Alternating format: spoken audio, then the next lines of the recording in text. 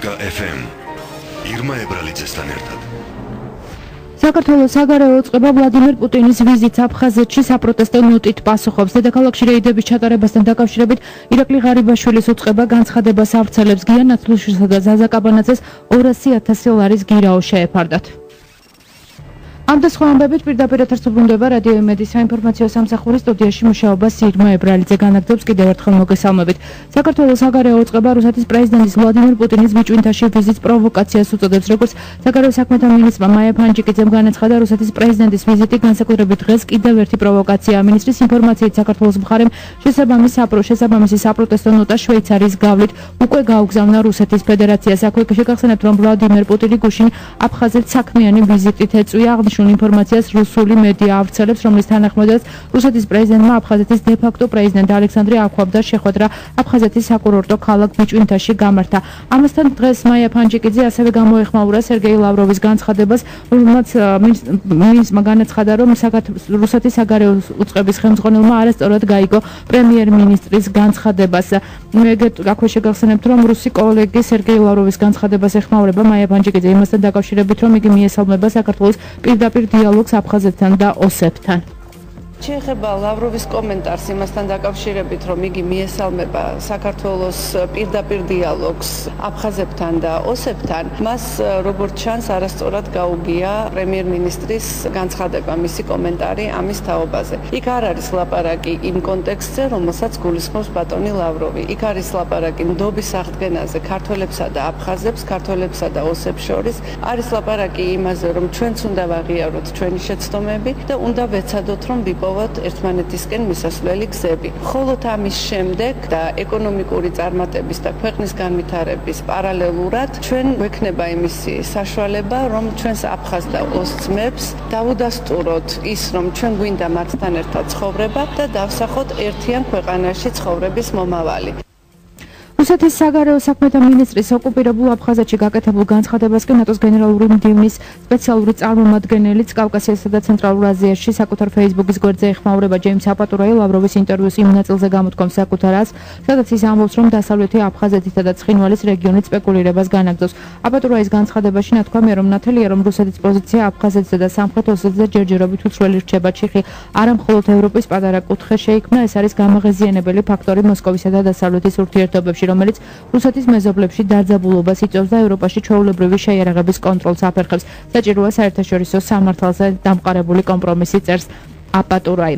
პატ დავითაიაკი ოკუპირებული აფხაზეთის ევროპასთან კავშირების გააქტიურებაზე საუბრობს ევროპელი დემოკრატების ინფორმაციით 24 აგვისტოს გაგრის მერმა გრიგორიენიკმა მემორანდუმი იტალიის ქალაქ საროკის მერთან გააფორმა დოკუმენტი ფინანსურ მხარდაჭერას ითვალისწინებს დავითაიას ინფორმაციით ხელშეკრულების ფოტოებიც არსებობს ევროპელი დემოკრატების საგარეო უწყებას სათანადო რეაგირებისკენ მოუწოდებენ.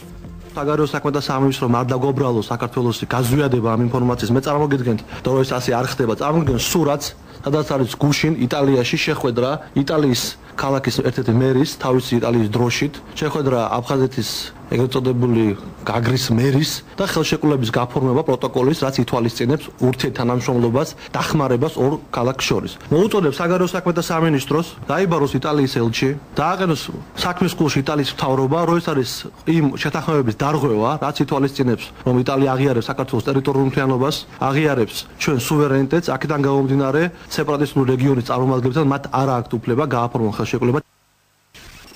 ქრონიკა FM ირმა ებრალიძესთან ერთად ეროვნული ოლიმპიური კომიტეტის ყოფილ თავმჯდომარეს გიან ნაცვლისშისა და შეპესი არტესის დამფუძნება ზაზა კაბანაძეს აღკვეთი ღონისძიების სახით სასამართლომ 200-200000 ლარიანი გირაო შეუპარდა. ნაცვლისშულმა და კაბანაძემ აღნიშნული თანხა 30 დღეს ვადაში უნდა გადაიხადონ. ამასთან ბრალდების მხარე გიან ნაცვლისშულისა და ზაზა კაბანაძისთვის 300000 ლარის შეფარდებას ითხოვს ადვოკატი ითხოვდა.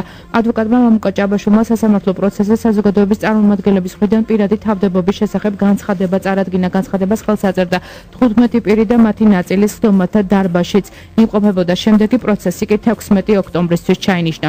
დედაქალაქში რეიდების ჩატარებასთან დაკავშირებით შინაგან საქმეთა სამინისტრო განცხადებას ავრცელებს, სადაც ნათქვამია, რომ მადლობას უხდის თბილისის მოსახლეობას თანამშრომლობისთვის და ამასთანავე ბოდიშს შინაგან საქმეთა სამინისტროს მიერ პრევენციული ღონისძიებების განხორციელების დროს შექმნილი უხერხულობისთვის.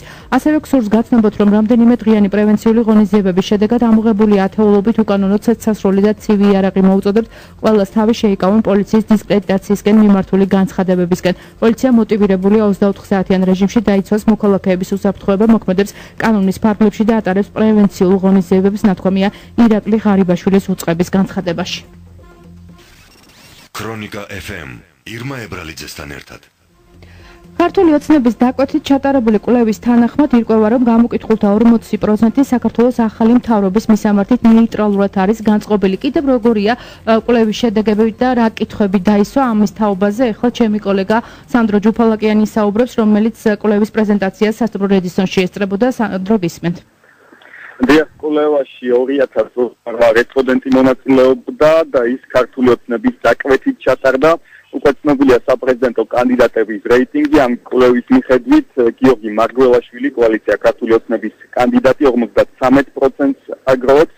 მეორე ადგილზეა ნაციონალური მოძრაობის ერთ-ერთი ლიდერი დავით ბაქრაძე ხოლო მესამე ადგილზე ნინო ბურჯანაძე. დავით ბაქრაძე ამ კვლევის შედეგების მიხედვით 9%-ს აგროვებს რაც შეეხება ნინო ბურჯანაძეს.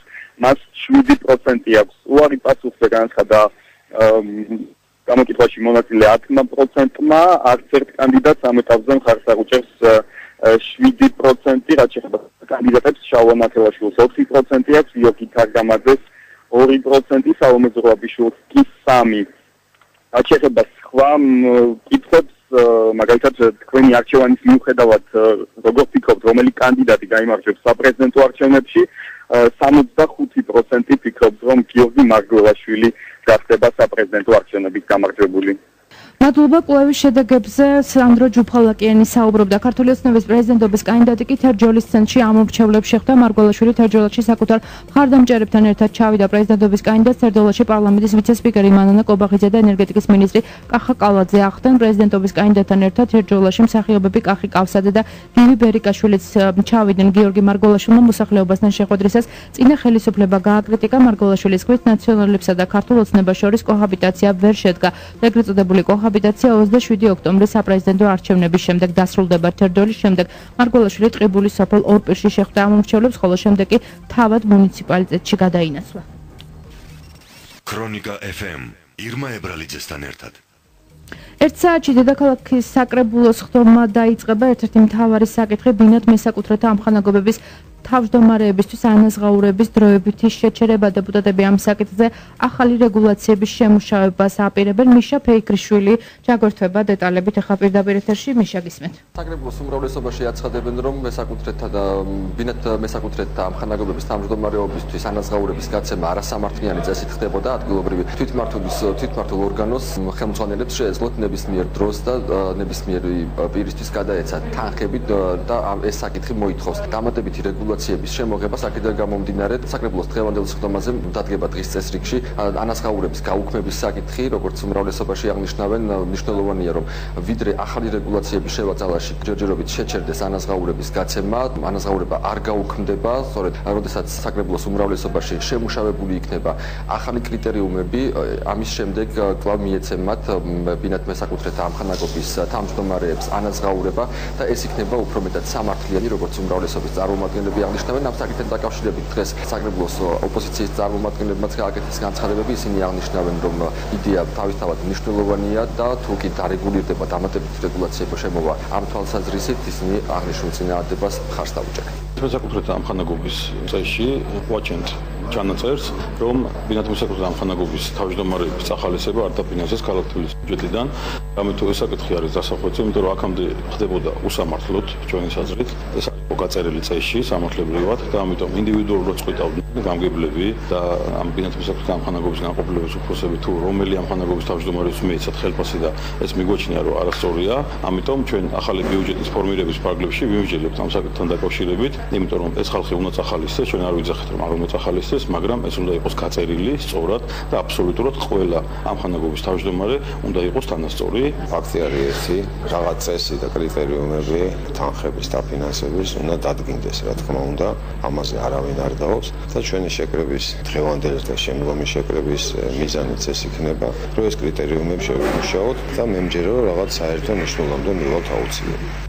ერთადერთი საკითხი ეს არის რეკომენდაცია თბილისის მერიას დღევანდელ საკრებულოს ხდომაზე იქნება უბრალოდ ეს საკითხიც მიღებული საკრებულო მიმართავს მერიას რომ გააუქმოს რიგი იურიდიულ დაწესებულებებში არსებული სამეთვალყურეო საბჭოები როგორც უმრავლესობის წარმომადგენლები აღნიშნავენ სამეთვალყურეო საბჭოებში ძირითადად დასაქმებული იყვნენ ნაციონალური მოძრაობის ლიდერები ცნობილი სახეები და ამ ხელფასებისთვის საკმაოდ სოლიდური თანხები იქნა გაცემული ბოლო თვეების განმავლობაში. საუბარია რამდენიმე მილიონ დოლარზე აქედან გამომდინარე როგორც აღინიშნა საკრებულო დღეს მერიას მიმართავს რეკომენდაციით რომ სამეთვალყურეო საბჭოები გაუქმდეს 12 წლის ოქტომბრის არჩევნების შემდგომ ქალაქის მერმა მიიღო შეიძლება ითქვას საკმაოდ გაურკვეველი ოდიოზური გადაწყვეტილება იყო ეს თავისი შინაარსით და თბილისის მერია მერიის იმ სტრუქტურულ ერთეულებში სადაც მერიის ასე ვთქვათ წილობრივი მომენტი არსებობს არის უფრო მეტი ეს არის ვთქვათ იგივე სინათლის ქალაქი ამ სამეთვალყურო საბჭოებში